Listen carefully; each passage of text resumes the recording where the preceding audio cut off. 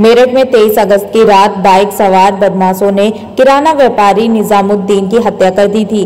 बदमाशों ने पहले व्यापारी की गर्दन चाकू से काटी, फिर सीने में गोली मारी। इस हत्याकांड में शामिल मुख्य आरोपी सलमान को मंगलवार तड़के पुलिस ने शौकीन गार्डन लिसाड़ी गेट से मुठभेड़ के बाद अरेस्ट कर लिया है।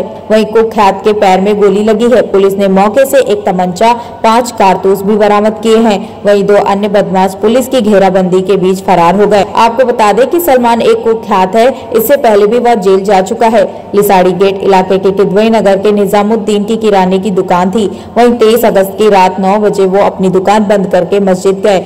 मस्जिद से नमाज़ पढ़कर अपने घर लौटे रास्ते में व्यापारी को छोटा बेटा आमिर मिल गया था। पिता बेटा एक साथ घर की तरफ़ जा रहे थे। इसी बीच बाइक सवार दो बदमाश पहुँचे और उन पर हमला कर दिया।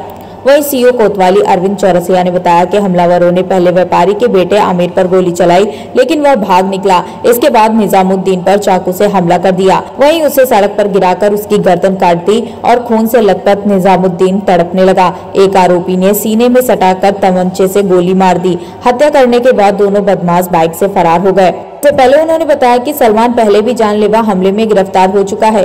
सीसीटीवी कैमरे से पूरी घटना का खुलासा हुआ। वही पुलिस ने सलमान को गिरफ़्तार कर लिया है। Bureau report, IPN.